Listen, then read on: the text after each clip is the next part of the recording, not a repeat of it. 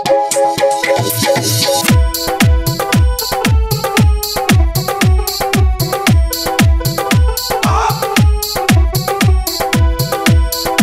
दोस्तों, आइए गौर करते इस लोकगीत के बारे में।